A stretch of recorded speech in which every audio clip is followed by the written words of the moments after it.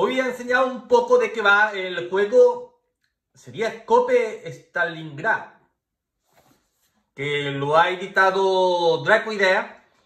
Y es un juego, creo que pertenece a los, 300 de Draco. No me hagan mucho caso porque he visto, he visto tantas cosas, tantos juegos que ya al final me, me he liado un poco. Es un juego de 2 a 4 jugadores de 10 a 15 minutos de duración, 12 años en adelante.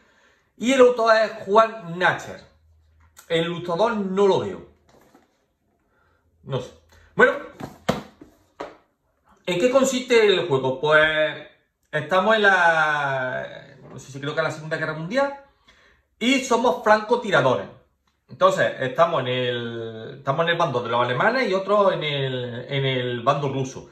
Y vamos con nuestros francotiradores a intentar abatir el, el máximo de enemigos objetivos posibles.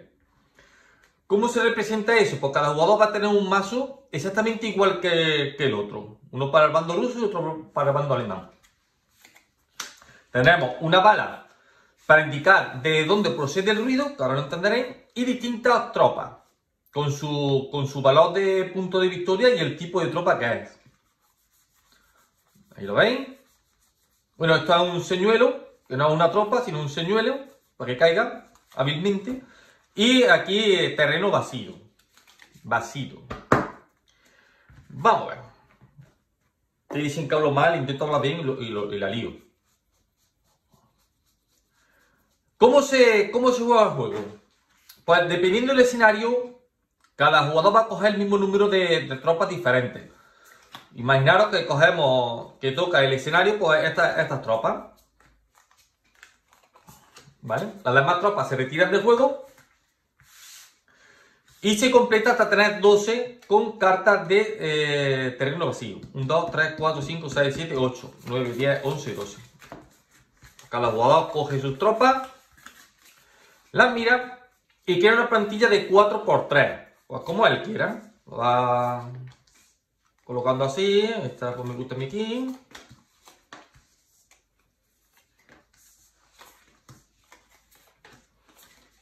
Ahí suelta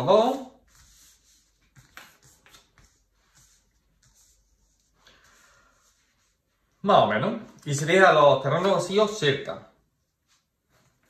El, contrario puede hacer lo propio también en su terreno. Entonces, ¿en qué consiste el juego? Voy a explicar un poco el juego básico.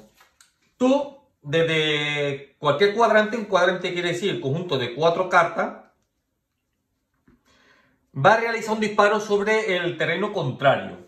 Entonces, tú apuntas a las cartas del contrario a una carta que quieras tú disparar, bueno, en teoría vas a explorar. Entonces, señala una carta al contrario, mete que, que contrario te ha señalado esta, la levanta. Como ha salido un objetivo, el enemigo puede disparar. Si le, si le dispara, lo mata, se lleva como trofeo y tú lo sustituyes por un terreno vacío. ¿Qué pasa si el, el disparo pues, descubre una carta que no tiene, que no tiene nada? Yo puesto, puedo aquí. Pues no tendría por qué disparar el contrario. Simplemente ha mirado, no, no hay nada y la vuelve otra vez a esconder. Eh, el contrario, al hacer un disparo, en caso de que lo haga, tiene que señalar desde qué cuadrante ha disparado. Miraros que este es el, contrario que ha disparado y eh, tiene que mirar dónde está su francotirador. Por ejemplo, aquí hay un francotirador. Y tiene que indicar desde qué cuadrante ha disparado. Como el francotirador está aquí, pues puedo poner la carta aquí o puedo ponerla aquí. Para indicar desde que esta zona aproximadamente es donde ha producido el ruido del disparo.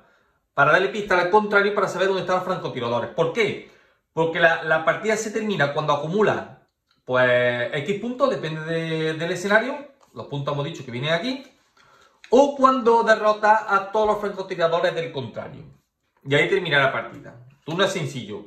Explora, mira si la carta vacía no hace nada, si encuentra objetivo dispara, si dispara eh, debe, de, señalar el cuadrante donde al menos haya un, un francotirador y le tocaría al siguiente jugador. El, indicador de, disparo se mantiene hasta que te vuelva otro aquí, que la retira y vuelva a colocarlo en otro cuadrante para intentar poco disimular.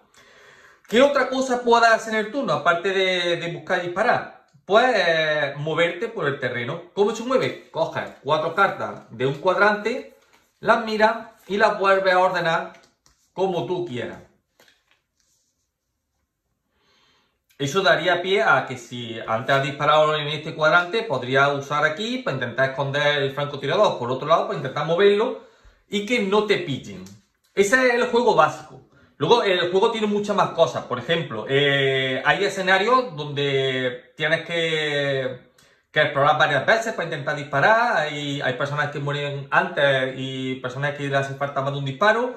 Hay, también como habilidades, para cada personaje tendrá su, propia habilidad. O sea que el juego, os explico lo básico, pero el juego es, bastante, bastante más, más profundo.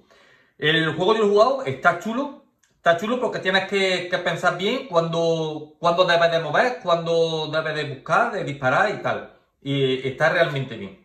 Pero bueno, la idea más o menos, espero que la hayáis captado un poco con la breve explicación que os he dado. Y nada más os voy a dejar por aquí otro tutorial para que echéis un vistazo. Por aquí el logotipo del canal para que pincháis, suscribáis y estéis pendientes de los vídeos que subimos. Dale like, compartir si os ha gustado y nos vemos en el siguiente vídeo. ¡Chao!